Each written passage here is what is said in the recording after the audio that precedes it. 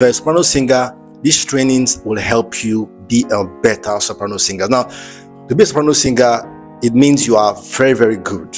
You can hit very, very high notes because there are, there are soprano singers that actually sing classical soprano, the one that is used in choral choirs like Hallelujah chorus and so on and so forth. And those ones, their voices must always hit that high pitch.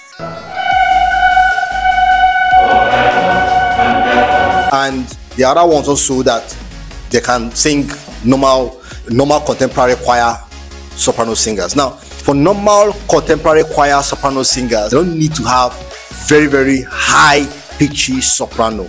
They can be able to sing the melody that is in the song. I mean be, they will still feature as soprano singers in the choir. As a soprano singer you are able to sing from c4 to f6 or from c3 to F6. That C3 is rare. That means you are able to sing between alto and and soprano. But C C4 to C6, there are certain exercises you must do regularly to be a good soprano singer.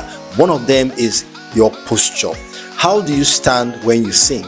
The way you're supposed to stand should be so relaxed, and then your head should be at this level, and then your shoulders should be dangling, not like they are stiff. No, dangling to enable you sing comfortably as a soprano singer. Number two is the way you place your tongue. Your tongue has to be relaxed down here in the lower jaw region when you want to sing or when you sing. It is not always good for your tongue to be hitting the roof of your mouth when you are singing. Generally, as a singer, your tongue should not hit the roof of your mouth when you are singing. For you to learn how your tongue should be when you are singing as a soprano singer is what we call the yawning exercise.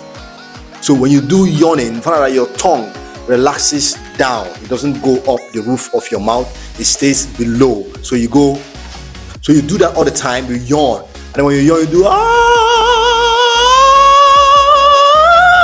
You know, you pitch at each time you do that yawning and put your tongue down. And the other thing again that can help you as a soprano singer is the way you breathe when you sing. Now, if you take in air, you try to expand. I used to call it the diaphragmatic breathing. So you breathe to your diaphragm.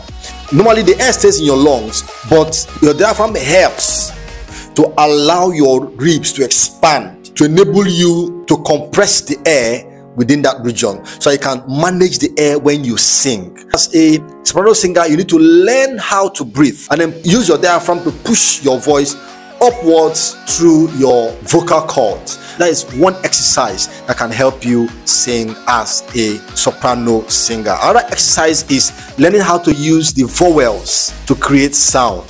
When i say vowels i mean a e i o u. You know that in english. So you have a call it a when it comes to music. Say ah.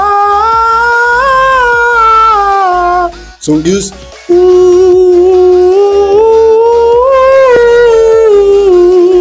So all those things are things you can do to help your soprano voice. It's also the, the why me exercise. Why me exercise?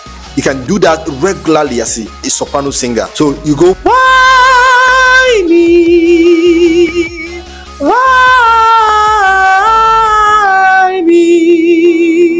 When you do that why me, you keep modulating, and when you finish modulating, you begin to demodulate. That's exercises you can do as a soprano singer. There are so many other exercises you can do as a soprano singer. We can't cover all, all of them in this, in this, in this particular episode. Well, my name is Psalm David, online choir master. If you have any questions about how to sing better on stage in the choir, please give me a follow and we can always talk about it in this channel.